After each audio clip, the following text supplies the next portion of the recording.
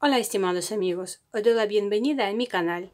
Os presento otra violeta africana de registro, Ave Vasha Svietlast, selección 2015. Vasha Svietlast se traduce como su excelencia. La descripción de su autor es la siguiente. Semidoble flores de color blanco tienen forma de estrellas onduladas. Su tamaño es de 7 u 8 centímetros y a veces Pueden aparecer tonalidades de color rosa en los pétalos. Es una estándar muy compacta con el follaje verde medio. Por mi parte, puedo añadir que es una San Paulo no caprichosa, se comporta como si fuera una violeta adquirida en una floristería normal. Digo esto porque violetas asequibles no son exigentes en su cuidado, comparándolas con algunas violetas de registro. Vasha Svietla se reproduce con mucha facilidad. Hasta unas hojas tan amarillas luchan por sobrevivir y dan la descendencia. Pues yo pensaba sinceramente que te, había seis hojas así de amarillas y yo pensaba que todas van a morir. Era como si fuera un experimento. No lo hice y tres hojas sobrevivieron y ya cada una me ha dado una hija. Una, dos y tres.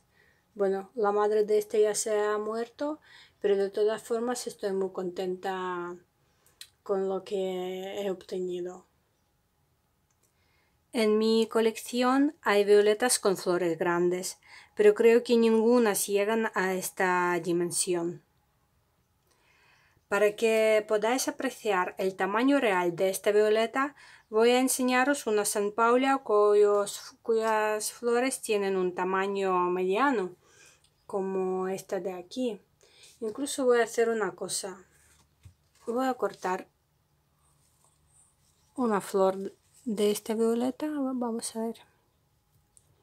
Que ya está un poco se ha marchitado un poco y voy a cortar otra de aquí.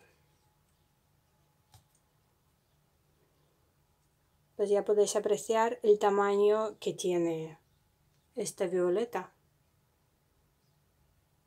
Bueno pero también existen flores aún más pequeñas como aquí. También voy a cortar una flor para enseñaros.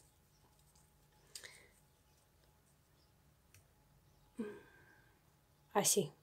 Yo creo que así se ve muy bien bueno, esta es una flor de la, esta es flor de una mini.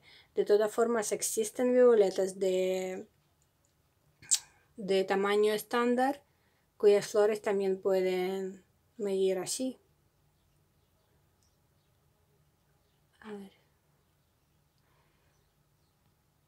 Bueno, ahora mismo su floración está un poco distorsionada porque hace mucho calor y claro que las flores no, pueden llegar al tamaño de 8 centímetros pero de todas formas es preciosa igualmente. Ah, bueno cuando las temperaturas sobrepasan los 30 grados centígrados es mejor quitar las flores para que una planta pudiera soportar mejor el calor. Pero claro Cultivamos violetas africanas para disfrutar su floración, así que es muy humano dejar las flores como lo he hecho yo en este caso. Bueno, he puesto aquí las tres, que nadie confunda que esta flor ya no pertenece a esta planta. Em, pues lo único que recomendaría es que em, cuando hace mucho calor, que procurad que la planta esté sana y hay que estar muy pendiente de que las flores no la perjudiquen. Y si veis que la planta reacciona, o sea que se pone mala o... Eso se nota. Cuando no tienen buen aspecto es mejor quitar las flores. Espero que os haya gustado mi bella Vasa Svietlast. Os deseo muy buen día violetas sanas y mucha floración. Hasta pronto.